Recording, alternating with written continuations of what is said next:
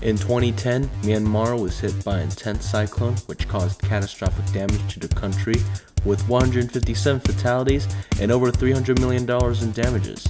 The 2010 North Indian Ocean season was notable because of one storm, Cyclone Giri. This isn't the first time we have seen a case like this. The 2020 and 2021 North Indian Ocean season was also notable due to one system making the entire season deadly and catastrophic. In 2019, the North Indian would see its most ace generating system, Cyclone Kyar. 2019 was able to reach an ace value of 93, but this brings us to question, how does 2023 hold up?